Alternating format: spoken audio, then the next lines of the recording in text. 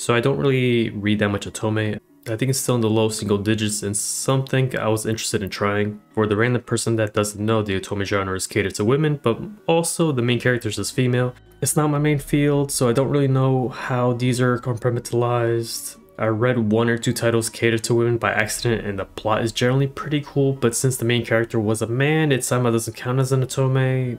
There's some titles I've read that are closer to the all ages with a hint of like BL, but at the same point, is it catered to BL fans at this point or is it just more general feminine audience? Who knows? Overall, I don't really care since I just care about the plot or the interactions between characters. I feel like they put more effort for the background scenarios, but that's probably just the popular ones that just got localized. There might just be as much of an overabundance in high school backgrounds in these genres as well. Honestly, it's mostly marketing, but I just find it fucking lazy. I wrote my notes on the first Psychedelica before I got to read Bustafellows or even the second side of Psychedelica, simply because these two titles were like $7 each. Bustafellows fares better, but I still had fun with these two. More so on the first one, but the second one has its own merits, and I'll get to that later.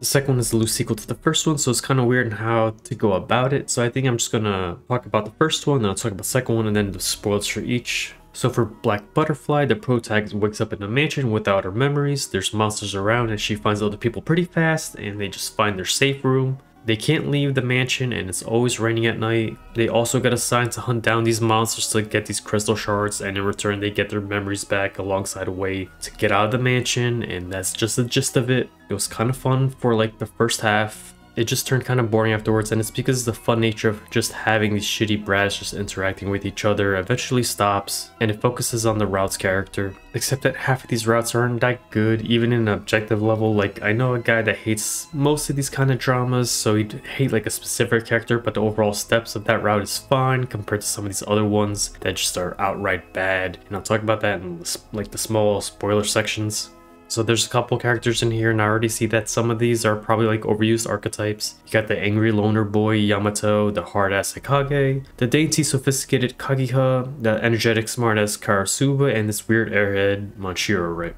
There's lock scenes that need to be seen in order to get these certain endings. There's scenes with all of them interacting with each other, some where it's just a one-on-one -on -one convo, or there's some with there's like the protagonist and like two characters, where they're just bickering about some irrelevant topic, but overall it's a fun time.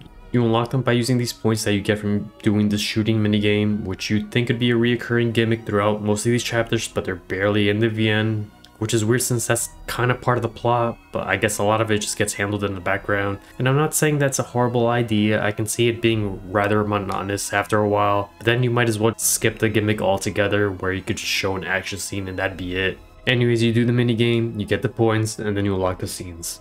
The extra scenes are probably my favorite sections in the VN, since everybody's interacting with each other, like I found Karasuba enjoyable when he's around Yamato and the other characters and he's shit-talking everybody, it's fine. But his solo scenes were probably the largest scenes in an overall decent VN. He just doesn't got much going on I feel like that's a problem with a good chunk of them. It's just more apparent with Karasuba. Getting ending is kind of annoying half the time since you basically have to start from the beginning each time. Let's say in Yamato's case, he has two endings and you did his first ending before the good ending. And I think you need to do the normal ending before you even get those. So I reload a chapter behind and you're like, okay, now I'm in Yamato's, but no, fuck you, you got the normal ending again. And the whole thing's like, well, you have to start from the beginning and do all the scenes again and then you understand like here it is. And this happened before again, one other time with Karasuba where hey, I did his first ending. Okay, let me load back the choice, do it, and you get the good ending. And it's like, no, you got the normal ending again. It's like, what the fuck? So you have to go all the way back again and do all these things. I guess what they do is they wipe out all the choices after one ending. So you, you know, yeah, whatever.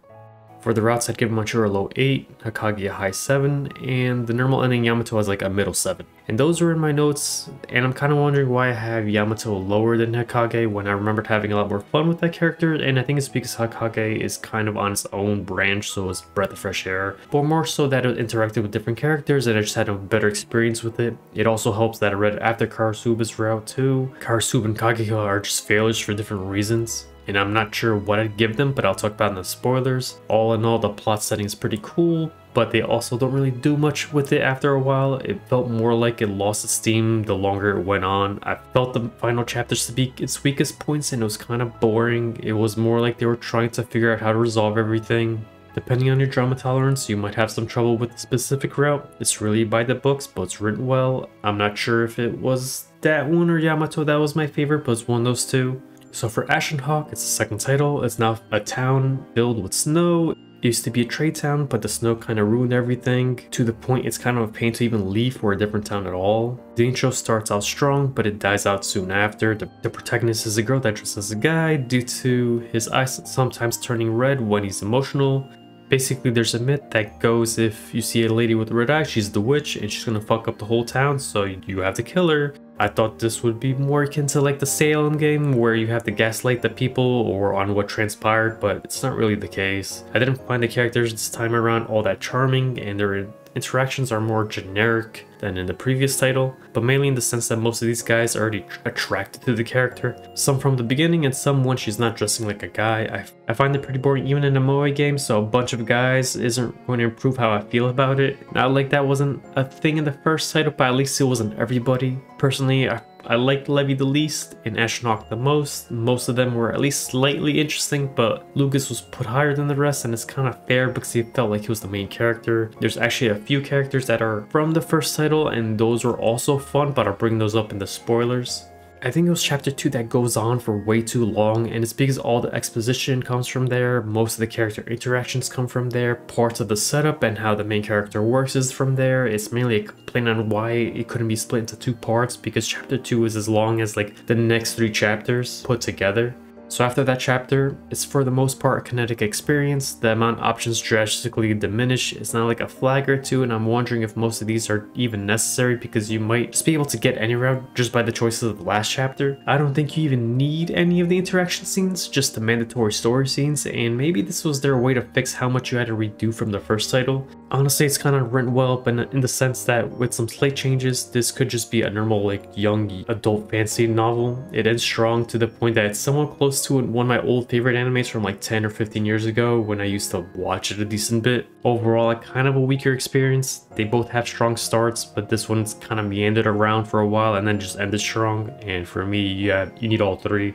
It retreads some old topics from the first title and did those well. Some of the happy ending stuff here kind of fixed some of the kind of whatever sections in the first title's happy ending. Basically, I found the true ending to be done better than what was in the first, but the actual routes are a lot weaker considering it's much closer to kinetic experience is like 95% of the same for each route except for like some extra routes that I think you unlock after you get the first ending or maybe even the true ending. I'd say my favorite route ending outside of the finale is probably Levon's and then the solo ending where everything gets fucked up. Overall, those extra endings that get unlocked later just cover like the final topics still going around in your mind of like, oh, how does this work and how is there, what about this character? They, they fill all that out. It's a fine addition. It works out well.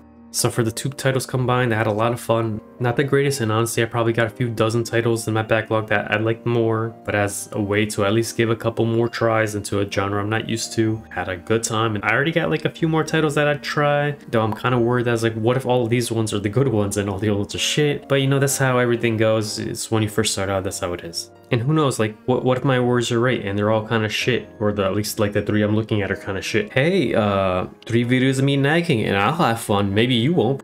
On another note, I think both of these could be pretty decent anime titles. I don't know if they will sell well or even watch well, but it's like, well, they're all guys and everything, but overall it would be interesting. And this is when you should drop off unless you don't care or you already read part of it or gets, whatever, right? And it, all is because I'm going through the late game stuff, mainly some of the characters. I liked the normal ending, everything made sense and it ended well, but the second ending for Yamato and Karasuba are kind of whatever since it's somewhat appended to the normal ending. There could have been some very slight alterations in the last conflict, but nope. And since I'm already on the topic, I pretty much dislike Karasuba. He's kind of a creeper. He's funny as one of the group, but he's just a bunch of red flags once you mix romance with him. He's honestly a whiny bitch. At least Yamato just has a rough exterior cliche, so he's a cool dude after he softens up a bit. Kageha doesn't really have an ending, and it makes sense since he's actually dead. I thought they were going to do some asshole ending like, oh yeah, she had amnesia in the real world, since they never found his body, but they made him stay dead and they just live in the mansion. And what I meant by him not really having an ending is it's like 5 minutes long. I actually don't mind what they're going for, it's fine, it was just really abrupt. There's a happy ending where they're all alive, but that's kind of a cop out. It's still nice, and I don't think the game itself is going with the hey, this is the actual ending you have to go for. And that kind of got reinforced with the second title. Hikage is kind of funny because he's kind of acts like an old man and he has some outdated ways of socializing only for him to be a guy that shot himself ages ago that was just stuck in the mansion. And that's why I put him as a 7 because he alone isn't the most interesting, but similar to the case of Sunohara and the gang in Clannad, where the route is interesting because of an amalgamation of all the characters instead of just one character. I liked Monshiro's route the most. Yeah, it had the most soap opera drama in the whole VN, but it was still pretty good. I think Yamato's branch has to be finished before even be able to go to this one, and that makes sense since he's part of the backstory comes from there. I feel like it's also where the Protax VA performs their best, and Monshiro's plot picks up a previous bad ending and uses that as part of a setting, and I generally really appreciate when that happens, because normally when there's a bad end, it's like, okay, yeah, bad end, and it never gets brought up again, or there's like a topic there. Where it's like, oh, in this ending you die because he used a special move, but then you never see that special move ever again in any of the new routes or in the continuation of the plot. It's like, what the hell happens to that? And in this one's like, no, it's there. And yeah, I liked it a lot. It was fine. So the main thing on the second one is that the parts I found most interesting weren't about the main cast, but what was happening in the setting overall, and that mostly pertains to Ashen Hawk and the two residents of the church. Lawrence is obviously Kageha from the first title, and Elric is almost as obvious with him being Hikage, but for some reason he has blonde hair this time around. Like if the rabbit wasn't there, I thought it might have been a fusion of Karasuba and Hikage, Fun fact is that Elric is voiced by that guy who did Kurosawa, right? And it's kind of like, ah, uh, okay, why? Like, why? I don't know why he has blonde hair, because, well, I'll get to it later. They actually don't have much relevance to the plot. They're mostly like plot devices to move a couple of key aspects or explain how X and Y happened. Like three quarters way through, it's like, okay, the main character can't leave the church or the place overall all that much. So Elric goes around and contacts the people. It's like, oh, that's what Elric is for. Overall, like, oh, what's Elric? In the main schemes, nothing they're I don't know why they're there. It could have been two other guys, right? But because they're in the town, you can see that town is a normal and it's probably another dreamscape or whatever they called it in the first one. That just gets further tacked on with Hugh, who from what I can tell is the original butterfly. His ending is basically revolves around it and that he can finally find a new butterfly to be with, which is the main character of this one. But in the finale, he's basically the story weaver still the butterfly, right? And he's finally done with everything and he's finally, you know, he shed his fucking skin, he's back to being butterfly and just goes back to his old mate. He's like, oh, series is ending. It's done. Cool. This is great. Oh, actually, I never mentioned it. So in Butterfly, in the first one, the whole thing is like there's this whole kaleidoscope thing that that's what all the crystals are for. It joins up and it makes a wish. The whole thing is Hikage, right? Hikage's sister was dead because, you know, well, she had a sickness and they couldn't cure her in time. So she wanted to get the kaleidoscope to, you know, cure her. And then so, I forget what happened and he got pissed off and broke it and shot himself. That's why he died. So now he's in the mansion and he's trying to get the kaleidoscope back so he can get the sister back or something like that. So throughout the whole thing, there's this whole butterfly theme in there where there's I think one of them dies and the other one travels around the world and he's they're both white butterflies but he travels so much that all his colors get trans transposed into like the rest of the world so everything has color except him out and he became like a black butterfly and then he just dies or some shit like that. It's been a while since I read it's, been like four months I think. But uh you know that's what happened so this is why Hugh was here. It's like oh he was the original butterfly and now he's also dying. Well, he's not, he chose to die, I guess, right? He, he shed his skin. Anyways, it was really heartwarming how it was done. The protagonist also ended up being i's friend from the first VN. Elric and Lawrence show up too, but as reincarnations instead of whatever they were doing in the first title. And it also looks like Kageha is kind of interested in Hikage's sister, and I hate how their names are so similar and it pisses me off. For some reason, uh, Hikage's hair is back to normal, no longer blonde, but the black slash red thing he had in there is like, why was he blonde?